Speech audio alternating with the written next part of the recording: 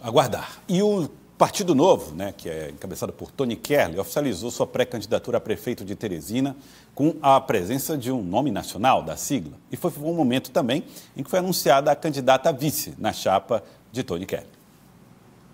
O Novo é um dos partidos que vão disputar a Prefeitura de Teresina nas eleições deste ano.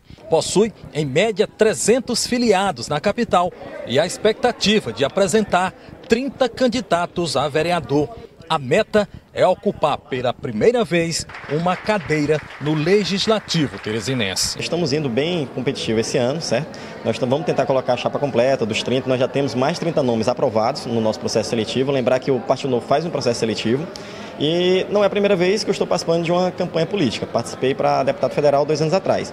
Então, aí já alia, digamos, não vou falar que é uma vasta experiência, mas pelo menos alguma experiência com campanha política. Além do legislativo, o partido aposta também no executivo, com o nome do professor universitário Tony Kerley, para disputar a prefeitura da capital. O primeiro ponto mostra institucionalmente que a nossa pré-candidatura tem crescido, que é uma pré-candidatura séria, que nós iremos até o final.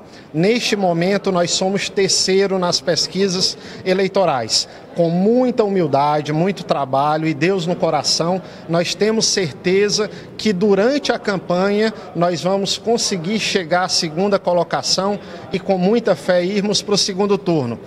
E para o lançamento da pré-candidatura de Kerley, o Novo trouxe nomes de destino do partido como presidente nacional da sigla Eduardo Ribeiro e o ex-deputado federal e ex-procurador da República, Delton Dallagnol. O Tony Kerr ele traz algumas pautas específicas, tanto para a educação, com, a, a, com as escolas integrais, para a saúde, com o cartão educação e para a segurança, com o fortalecimento da Guarda Municipal, que é o braço da segurança pública do município aqui na cidade. Nós, enquanto Diretório Nacional, estaremos ao lado da candidatura, da pré-candidatura hoje do Tony Keller e vamos apoiá-lo dentro do que for possível, porque todos os indicadores e as pesquisas mostram que tem um caminho gigantesco para a gente crescer aqui. Delanhol, que ficou conhecido durante a Operação Lava Jato, falou como o partido pretende conquistar o eleitorado teresinense.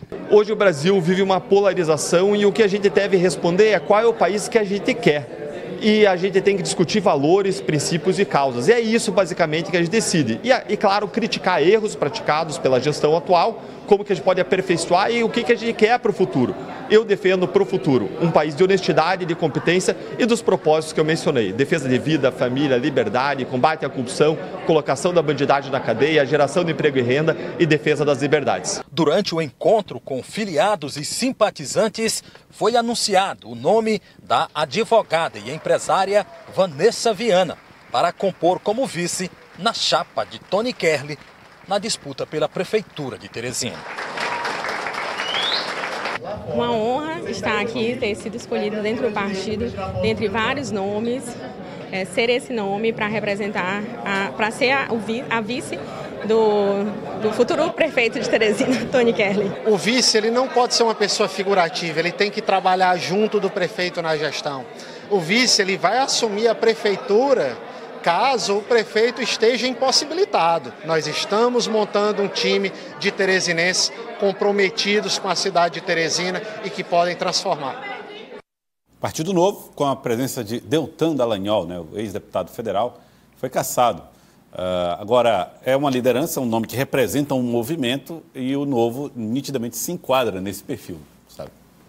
Não, exatamente. Acho que até Elivaldo estava pontuando aqui nos bastidores. A conversa de bastidores sempre rende muito, né? A gente estava pontuando o quanto que ainda tem bastante apoiadores, né? Ainda da Lava Jato, aqui no Piauí. Movimento importante, mostra o apoio nacional, o novo que tem é, um estado importante, Minas Gerais, Romeu Zema, então termina sendo uma bandeira ali de visibilidade. Eu acho que a grande aposta de Tony Kelly é, de fato, agora nos debates, né? Poder. É, ter um desempenho em que possa mostrar um pouco mais das suas bandeiras, das suas ideias. É um partido é, de direita, de centro-direita, é, que defende, de fato, uma visão mais enxuta da economia e a gente vê que tem possibilidade aí de crescimento, né, Edivaldo? É uma chapa pronta, né, Edivaldo? Anunciando aí a, é, a candidatura da candidata vice. Isso não é fácil, né, para um partido pequeno que nunca disputou a eleição majoritária aqui no Piauí, e você, você já tem uma chapa pronta de candidatos a vereador com 30 nomes, não é? Até partido grande enfrenta dificuldade, imagine um partido pequeno. E o professor Tony Keller, essa fase da pré-campanha, tem utilizado muito bem as agendas, sabe? De contatos permanentes com lideranças nos bairros, reuniões, e a pré-campanha ela tem muito esse papel da articulação política.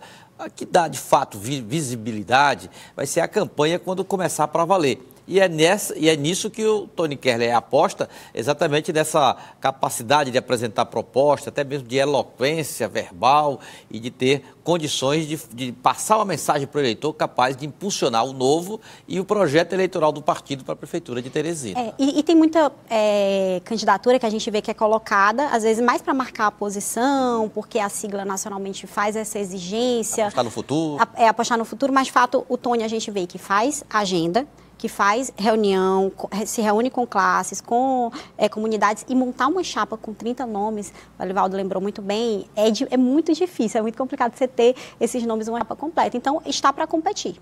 Né?